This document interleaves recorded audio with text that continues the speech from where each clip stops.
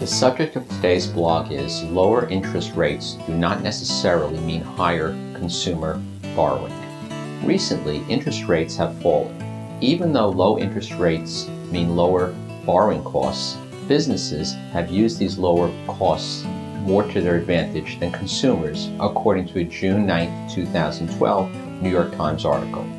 Consequently, in the first quarter of 2012, businesses were borrowing more than ever since the 2008 financial crisis. However, that is not the trend for consumers.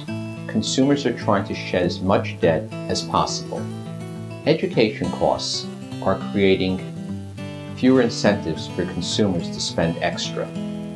Foreclosures and defaults have raised some debts, and banks are now exercising more restraint when issuing loans to consumers. An increasing number of people are refinancing their loans, taking advantage of low interest rates, but few are receiving new mortgages.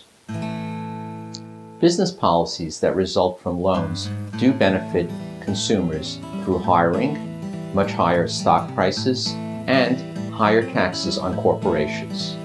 On the other hand, companies are using loans to pay off older debts that were issued when interest rates were higher. Corporations are also holding a large amount of cash. Currently, they hold $1.7 trillion in total, according to recent statistics. An exception to the decline in consumer loans is in the area of auto loans.